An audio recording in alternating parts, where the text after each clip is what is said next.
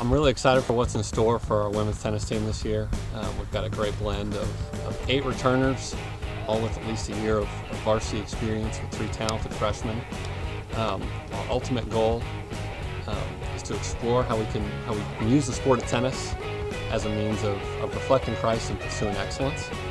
So, so seeing how we can do that on a day-to-day basis on the practice court, um, and at team events off the court, and in practice and competition of really being a light, um, learning how to love and respect opponents well, um, when it's easy, when it's tough, um, and just enjoying all the, the blessings that come with, with being a college athlete. On the court, I hope we're, we're competitive within the West Division and look forward to seeing um, how we compete uh, regionally as well as through the conference.